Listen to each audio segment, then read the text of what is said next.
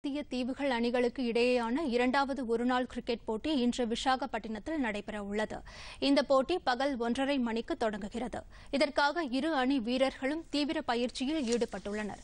சென்னையில் நடைபெற்ற முதலாவது ஒருநாள் கிரிக்கெட் போட்டியில் மேற்கிந்திய தீவுகள் அணி வெற்றி பெற்று ஒன்றுக்கு பூஜ்ஜியம் என்ற கணக்கில் முன்னிலையில் உள்ளது. தொடரின் மூன்றாவது மற்றும் இறுதிக்கட்ட போட்டி கட்டாக்கில் வரும் இருபத்தி இரண்டாம் தேதி நடைபெறவுள்ளது.